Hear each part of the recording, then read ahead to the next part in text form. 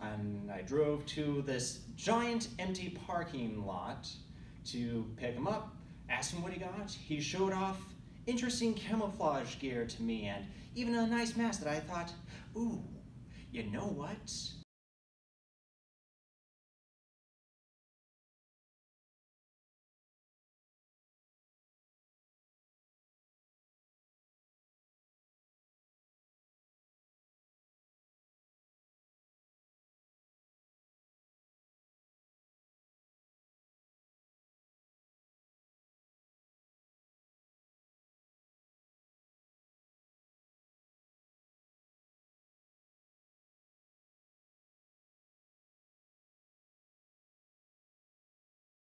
I got a call from my friend Brett to pick him up by the bus stop, a gas station, who, as I later found out, thought we were going to rob him.